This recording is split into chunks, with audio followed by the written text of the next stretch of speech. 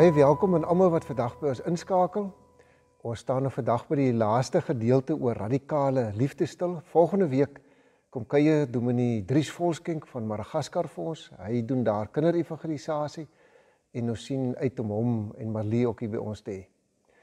Ons tema vandag is Jesus in sy gees. En nou net voordat ons lees, um, mense beïnvloed mekaar mos verskriklik maklik. Ons is eintlik beïnvloedbare wesens. Ehm um, vriende het ook 'n geweldige invloed op mekaar. Ons lees in Spreuke dat eyster slyp eyster, so vorm vriende mekaar. En ongemerk het ons 'n groter invloed op mekaar as wat ons besef. Maar die persoon wat die grootste invloed op ons het, is Jesus Christus. En ons gaan nou lees van 'n man wat vir Jesus ontmoet het en hoe hy sy lewe radikaal verander het. Ons lees Lukas 19 vanaf vers 1 die opskrif Jesus en sy gees. Jesus het in Jerigo gekom en was op pad deur die stad. Daar was 'n man met die naam Saggeus, die hooftollenaar, 'n ryk man. Hy het geprobeer om Jesus te sien, maar weens die skare kon hy nie omdat hy te kort was. Hy hardloop toe vooruit en klim in 'n willevye boom om Jesus te kan sien, want hy sou daar verbygaan.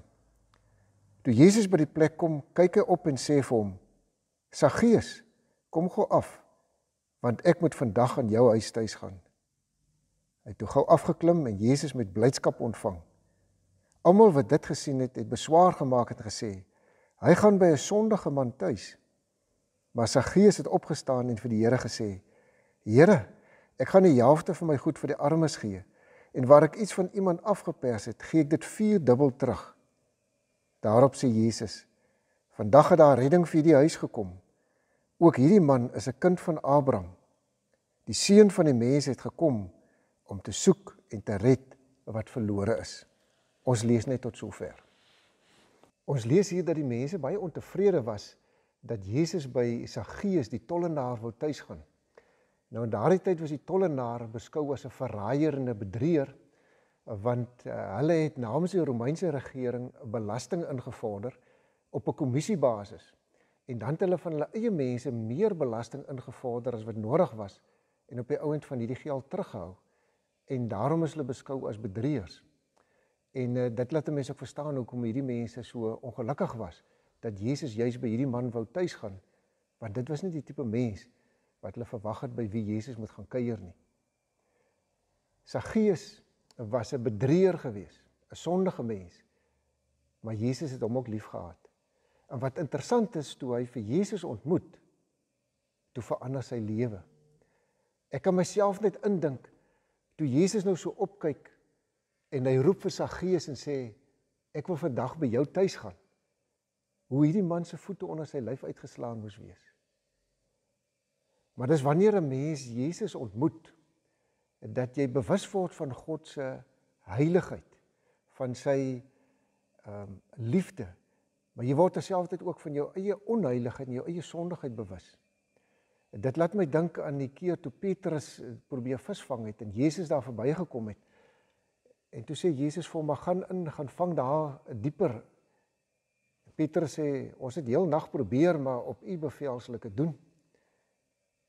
En toe Petrus later die skuite vol vis sien, het hy net besef dat Jesus God is. Dat hy met iemand anders as 'n mens te doen het. En dit het ook sy eie sondigheid. En so op dië manier het hy sy eie sondigheid besef. Ons lees in Lukas 5 vers 8. Toe Simon Petrus dit sien, val hy voor Jesus se knieë neer en sê: "Gaan weg van my af, Here, want ek is 'n sondige mens." toe sy gees vir Jesus ontmoet, het hy besef dat hy eintlik met God te doen het. Hy het bewus geword van sy eie sondigheid, van sy eie onheiligheid.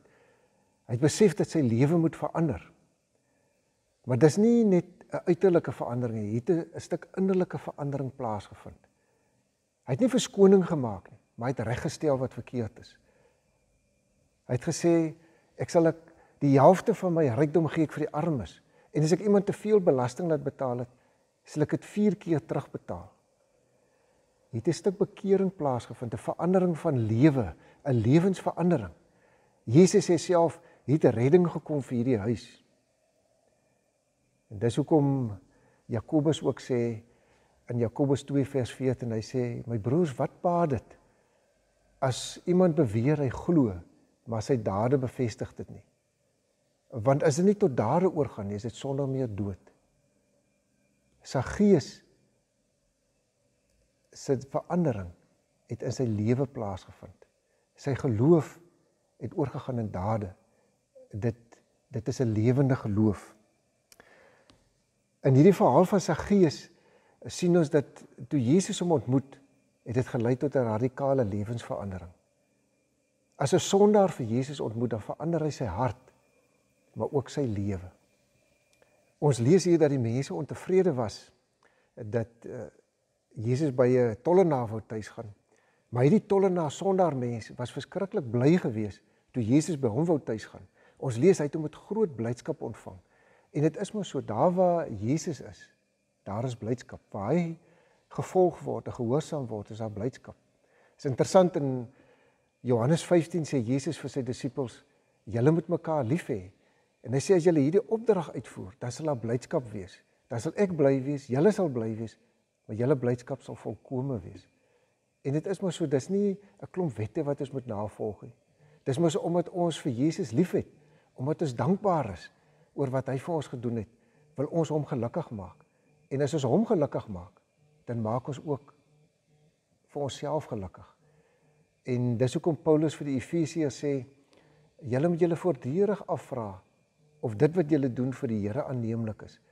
En as dit ons lewensingesteldheid is om in alles te doen wat vir die Here aanvaarbaar is, dan is ons eintlik besig om die Here te dien want hy's hy's vir ons so belangrik. Dit gaan vir ons om hom gelukkig te maak, om hom tevrede te stel. En dan kan ons saam met die psalmdigter van Psalm 100 sê ons dien die Here met blydskap. En dis mos wanneer ons vir Jesus beter leer ken, mekaar beter leer ken, dat ons ook hierdie blydskap ervaar want op so 'n manier voorsien ons mekaar se behoeftes, maak ons mekaar gelukkig, help ons mekaar en is dit lekker om in mekaar se teenwoordigheid te wees. Ek dink nou maar net hoe lekker is dit om in 'n erediens weer mekaar te sien en met mekaar te kan gesels of daar by 'n gemeentefunksie of as ons mekaar sommer hier by die kerkkantoor raakloop of ergens in die straat om net mekaar te sien, met mekaar te gesels en om as medegelowiges net God se liefde te kan ervaar en te kan deel. Hierdie blydskap wat hy vir ons moontlik maak. As ek nou hierdie gedeelte oor uh Jesus en sy gees moet saamvat, dan lyk dit vir my ons kan sê Jesus is lief vir alle mense. Ook vir die sondaar mense, hulle wat lieg en bedrieg en steel en onsedelik lewe. Hierdie mense wat ons dalk sou wou vermy. Nou hulle toe reik Jesus uit. Want hy sê ek het gekom vir die sondaars, vir hulle wat afgedwaal het, vir hulle wat verlore is. Ek het gekom om die te red wat verlore is. En was so 'n mens gered word, was hy hart en lewe verander is daar blydskap. Ek wil graag vir jou vandag wegstuur met 'n vraag. Het jou ontmoeting met Jesus gelei tot 'n lewensverandering? Het sy teenwoordigheid jou ook bewus gemaak van jou eie sondigheid en jou eie afgedwaaldheid? Was jy so bly toe hy jou op jou naam geroep het dat jy reggemaak het wat verkeerd was in jou lewe?